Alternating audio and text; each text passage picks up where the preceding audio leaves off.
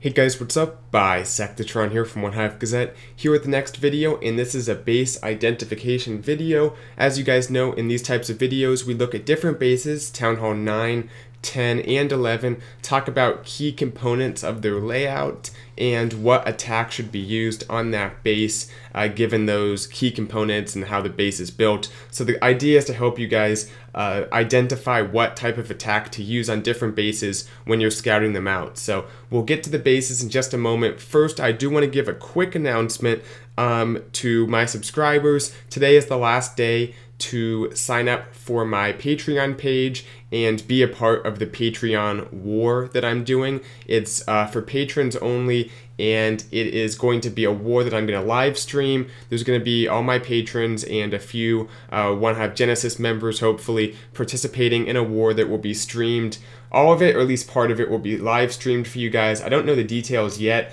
but it's something I'm doing for the month of August. So uh, it's right at the end of August, so it's your last chance to sign up for the Patreon page. Thank you to everyone who signed up. There's also other perks as well that you get. I really appreciate the support, and I just wanted to give that quick announcement in case uh, you planned on signing up you should do it now if you do, uh, so you still get that benefit for the month of August. So that being said, let's get into this video. And the first base is one that really annoys me because um, I tried to attack this and I was unsuccessful with it. Basically, it's not that hard of a base. It's it's a good base for just a uh, a three golem attack to just come at this base with golems, bowlers, especially because it has a small CC. Um, that makes it even easier to just send in a big bowler kill squad with the king, the queen, and typically the queen at least can snipe that town hall coming at it from the side. You want to come at this base from the side.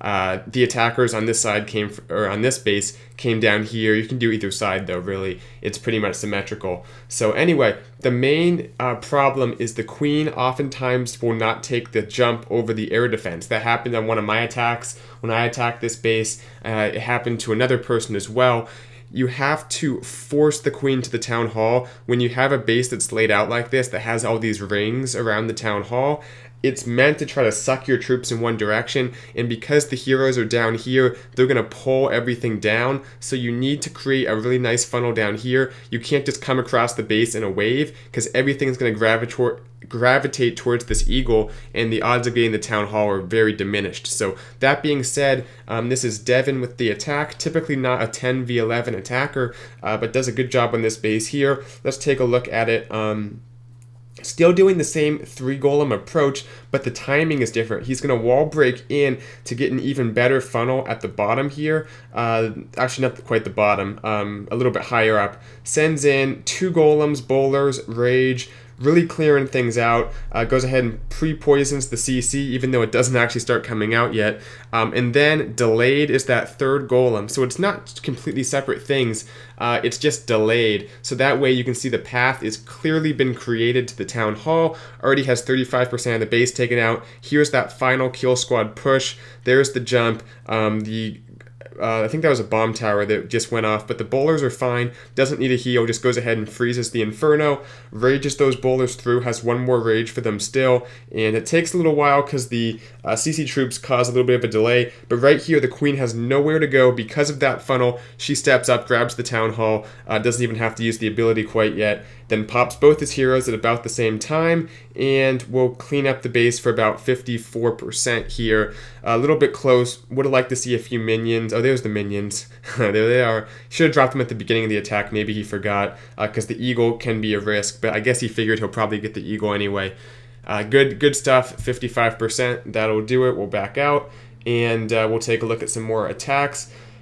You know, we don't see many dips, but I think when I can, I want to show these dip attacks, at least one of them, in these types of videos because it's just like 9v9 almost. Um, it's obviously going to be a little bit easier than a 9v9, especially um, a fresh hit, but uh, it's still something that we, you see a lot of fails, and it's so important for these wars. I love the bowler bounces on the mortars. Those are key, not just for creating funnels, but those mortars, you know, they're defenses. They're on the outside of the base. They don't do much, but they do uh, damage, and you just want to get them out of the way. Not a bad trade to drop those bowlers, take out those mortars. Uh, but taking a look at this base here, I always forget to uh, show the scout view and talk about it first. I, I always want to get into the attack right away.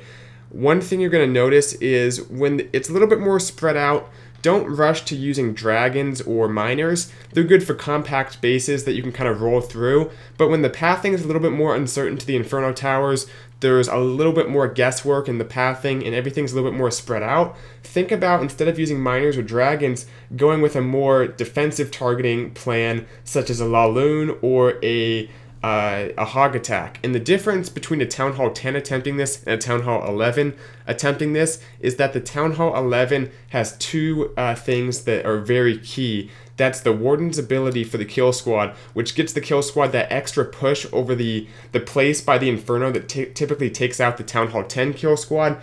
The uh, Warden's Eternal Tome will give them that push past there, even deeper in the base, then there's that extra spell. You can bring three heal spells for your hogs, which is so much more helpful. Um, so it basically uh, has two key things that Town Hall 10 doesn't. Now right here, watch, um, this is the place where the Town Hall 10 kill squad would be taken out typically, has a great uh, Eternal Tome, gets always troops in it, and you can see gets that much deeper in the base. The bowlers stay up longer, the king stays up longer, and the queen and the warden sit back and snipe defenses. He's uh, able to get the queen taken out and the king, so gets both heroes there. Great push. Now here come the hogs through the base. You can see has a freeze for that Inferno, which is always important if you have an Inferno still up on a hog attack, especially with some defenses around it. There's the freeze, gets the, um, looking like he was getting, gonna get the X-Bow, doesn't quite get it, but the Inferno being frozen was enough and the king doesn't go down. That's one issue. Um, and also, you only have one poison spell. That's the only downside. You have the extra elixir spell, but you only have one dark spell uh, for these hog attacks at Town Hall 11. So, oftentimes, there'll be some skellies on your hogs. Almost got the king. Would have been much easier if you got the king, but still has that last heal spell. The hogs will get through here. Uh, that giant bomb won't do anything to them. Troll Tesla in the corner. Um, makes it take a little bit longer, but this base is finished. The archers take out the uh, king, and then we'll fast forward to the end here, has a few cleanup wizards along the outside of the base. So when the base is a little bit more spread out, think about doing a more defensive targeting approach instead of just trying to roll through it with miners or dragons, because those are the most effective, but they can face some problems against these more spread out bases. Um, in some situations. So let's move on to number 16 two 10v10s and two 9v9s to show. This first one, uh, I'll just go ahead and show the replay and I'll pause it um, so you guys can see what troops we used as well as we talk about it. So this base, first thing you gotta notice, the point defense is lower level, making it easier for both a hog attack or a Laloon attack. Typically point defense is the main uh, culprit, especially on a Laloon attack. You got to be careful if there's really high level wizard towers or archer towers. Um, but this base focused on the X-Bows and the Infernos, so lower level point defense and some lower level wizard towers makes it easier for pretty much any attack. So I won't say that's a huge indicator that you should uh, use loon. The bigger indicator is going to be this air defense by the Inferno Tower area. And these are very common layouts with the Inferno Towers two compartments. I made a whole video on how to charge an Inferno Tower. You can just look it up in the search, you know, OneHive Gazette, Inferno Tower, Queen Charge, or whatever. Um, made a whole video on how to funnel your Queen in here. But the extra benefit is there's an air defense right here as well.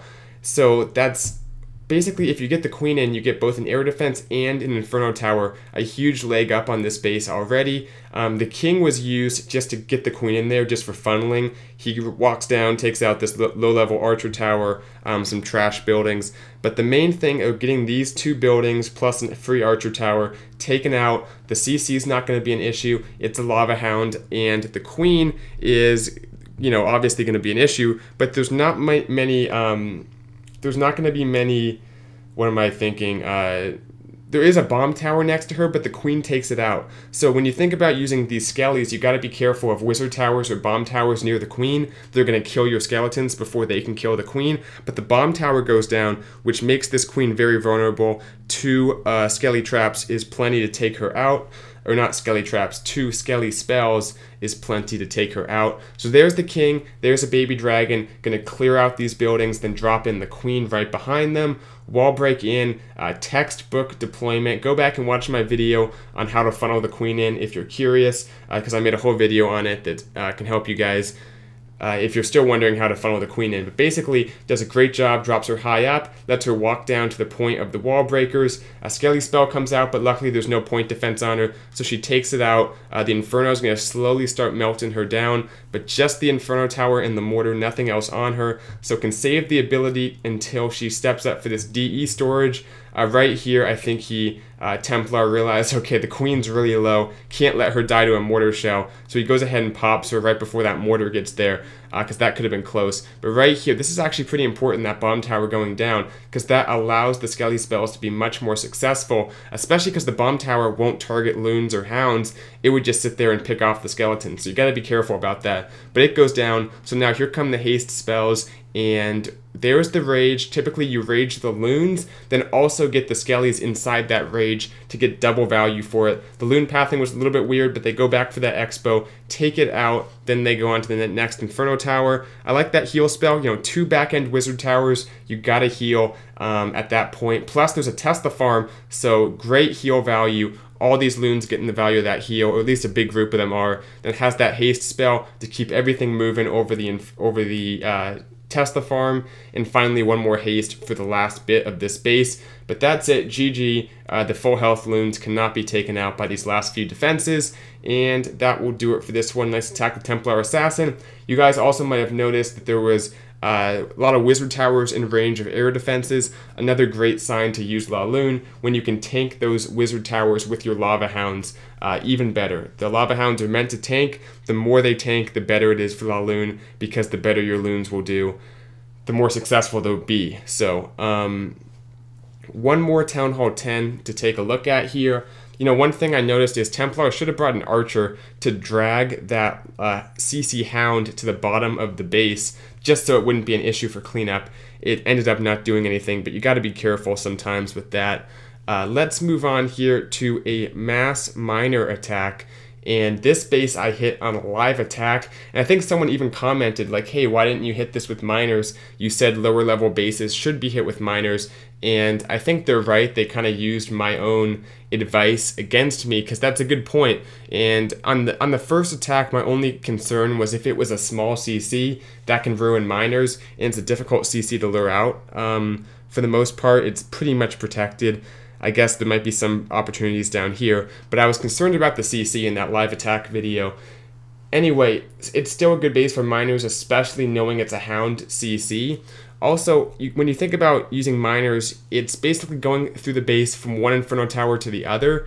And one thing that's uh, very helpful about this base for a miner attack is the king, if you drop him on this side, gets in here, gets all the way into that wizard tower. So the king, even though he can't go inside the base, he can get very close to the inside of the base and if you look at what he's taking out, he's forcing miners pretty much to the core of the base. So even though the king can't do that great of a job funneling, he's able to walk pretty far uh, towards the core. And that's one thing on other bases it's difficult on the king side to funnel anything besides that first layer of trash buildings, whereas because the base is really skinny right here, the king gets pretty close uh, to the core and funnels the miners very well. The queen's dropped up here to take out these defenses, a bomb tower is helpful, um, then the pathing is pretty good. One inferno tower through the core, other Inferno Tower. I think he uses one Rage for the core, which is good if you're using a mass miner attack. Um, a Rage for the core is not a bad idea, especially if you have four other heal spells.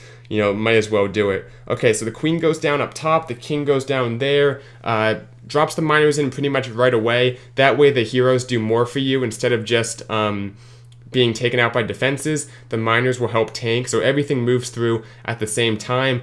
Uh, the king tri- triggers a giant bomb, which is pretty important. There's the poison spell on the loon. He brought a skelly spell. I would have liked to see another poison, because if that balloon does not die, it can ruin an attack. So I typically like to have uh, two poisons just to be safe. And if the loon goes down, I drop the other poison on the heroes. Uh, they actually passed past that one Inferno, which can be an issue when you have the two tile moat around the Inferno towers, but they went back for it fortunately, and then they continue on. One group is already at the bottom down there with the King's Barbarians and stuff, so they will kind of go towards that bottom Tesla farm. The other group is working in the uh, top part of the base there by the Wizard Tower. Take that out. Um, a little bit of a concern with all these wizard or all these uh, Teslas. I would have brought a back end loon or two, like you guys saw in my live attack, a few sprinkled loons to take out those Teslas. Might have been a good idea, um, but Boudreaux elects to just overpower the base with miners, and it works out pretty nicely. Has plenty of them left up by the end of this attack. Lava Hound just sits there, can't do anything. Nice three star. Let's take a look at two 9v9s, then we'll wrap this video up. okay, uh, 21. Sorry if you hear my dog in the background. He's kind of walking around back there. Uh, this base, let me see what it was. This was a good queen walk hog base. Um, I've talked in the past about if the queen is exposed like she is, oftentimes just go ahead and queen walk her and that can get you some good value. You don't even have to use a kill squad. You can send those hogs right in. Now we talk about hog lanes, you know, lanes that your hogs will go through that can be healed. You know, they're about the width of a heal spell, so about two to three defenses wide and uh, they, your hogs just move through them and it's the most ideal way to deploy hogs. So if we take a look at this base here, uh, the queen can walk from right around this mortar towards the top of the base here. She won't get that X-Bow, which is one downside of this walk, but besides that, it's a pretty good walk, takes out defenses, then she'll come around the corner eventually and start working on some of these cannons, which you know there has to be some spring traps in there, uh, taking a look at the layout right there. Then at the bottom, uh, pretty good value from the king. You can drop him down here. He will tank. I think he even... I don't think he takes out the defensive king. The defensive king's too far inside the base, but he comes in, he takes out a few mortars, and he basically just uh, wraps around the base, tanking, taking out a few of the mortars, and clearing out some trash to make sure there's no time fail. So let's go ahead and play the replay, and we'll see exactly how it developed. But let me just say the hog lane then becomes starting right here uh, moving through the base just across. Now, it does get wide up in this area. The hogs kind of split. Some go to the top, some go down below towards the X-Bow area. So that's one downside, not the best hog lane, but initially the hogs move through in one nice unit that can be healed in one heal spell. So that is one upside, and by the time they get to the back end of the base, the queen has gone around anyway, and there's enough hogs to finish off the base and to uh, take it out with the remaining heal spells. So J Money uh, coming at this base here. Wizards for the funnel. Pretty easy queen funnel because she cannot target that X-Bow, so she has nowhere to go but towards the top of the base now. Healers go down on her and she'll just walk up. We'll go ahead and fast forward just for sake of time here. Also, I like the wizards up there and the archer to keep her close to the base. Don't have her waste time on trash. You want her targeting defenses. Sorry about that. Almost fast forward through the attack. Uh, there's the rage and the poison on the enemy queen, gets her taken out, all with one rage spell. Then while the archer tower is being tanked on the king, and while the X-Bow is being tanked on the queen, I think it switches in just a moment, but the hogs sneak into here and take out that X-Bow. So very nice usage of his both his heroes that were tanking. Lava Hound in the CC doesn't even have to lure it out. This must have been a cleanup attack uh, because he it looked like he knew it was a Lava Hound. Uh, the King walking through, taking out the mortars, tanking for the Hogs, hasn't even had to use the ability yet. The first heal was good, like I said, was able to heal that entire group. Then they split. Um, a few go towards the top, to the, towards that bomb tower. Most go down south by the X-Bow. Nice poison spell on the king and the skellies. If you have skellies up and the king is also up, try to overlap your poison so it gets both of them in the poison. That's even better. He went ahead and uh, healed, I think, the bottom group twice, then lets the queen finish off the top of the base. So everything meets up here. The king managed to go around the entire base without even having to use the ability. Right there, he pops the king. Plenty of hogs, plenty of uh, troops in general, both the heroes. Fast forward to the end here, nice attack by J Money. One more base for you guys as we go on about 20 minutes almost here. Let's finish off this video with a witch attack at Town Hall 9. Let's take a look at the base. We'll go ahead and go into the replay and talk about it. Um, this base, first thing you gotta notice are the wizard towers, very centralized, very centralized wizard towers, and also both the X-Bows at the top of the base.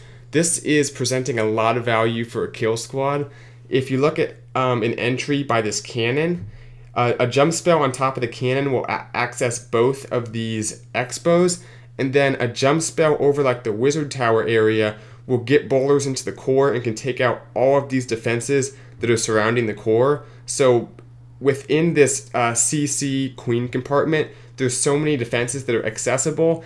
So it makes a great opportunity to use witches because the outer outside defenses, like along here, are mostly point defense. Actually, almost all point defense.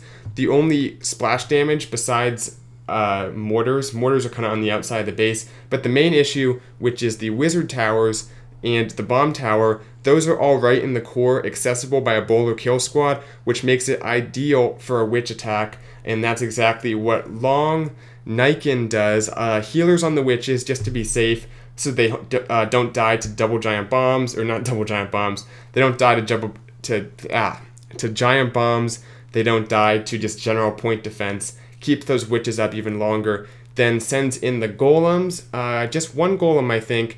It targets the mortar, then comes down, tanks that uh, those defenses. Jump spell, like I said, on top of the cannon. Then drops down the queen, the king, the CC bowlers, and sends them all in right here. The funnel is pretty good because the witches uh, started the funnel on both sides. Uh, they kind of split up a little bit at the bottom, but has enough up that they can take out pretty much the bottom of the base and start to move in get some of those defenses taken out. So here come the heroes and the bowlers, a nice heal spell over those giant bombs. And like I said, that jump spell actually was over the clan castle. Um, my bad on that. A little bit farther over, but still gives them access to the same compartment here. Still can get in there to those wizard towers and basically allow the witches to kind of swing around the outside of the base and not have to worry about any of these splash damage inside the base. The queen lags behind because there was a lava hound in the CC, which is uh, one drawback on this attack. I don't know if this was a fresh hit. It probably was, um, consider considering the queen did not uh, went in with the kill squad. If it was a cleanup, I my guess would be the queen would do a walk along one side of the base. Um, but that's one issue with this attack. Um, and it makes it a little bit harder because the queen's stuck behind these walls, but she's still tanking the wizard tower, and the witches are still up along the outside of the base. I think all of the witches that were dropped at the top are still alive now on almost the bottom of the base. They've done a 180 pretty much, and they still have one of their healers on them. The other healers have gone to the queen, which is actually kind of funny, like a mini queen walk at the end of this attack here. Uh, he's going to go ahead and pop the ability in just a moment. There it goes and these witches will clean up the bottom uh, buildings. Now it's all point defense, which makes it very easy for these witches uh, because all the splash damage was in, was in the core, and these point uh, defenses can't shoot fast enough to kill the witches. So nice one there to Long Niken or Niken. That will do it for this base identification video. Hope you learned some stuff about how to uh, look at bases when you scout them and how to attack them based off of that. Once again, uh, be sure to check out my Patreon page if you're interested.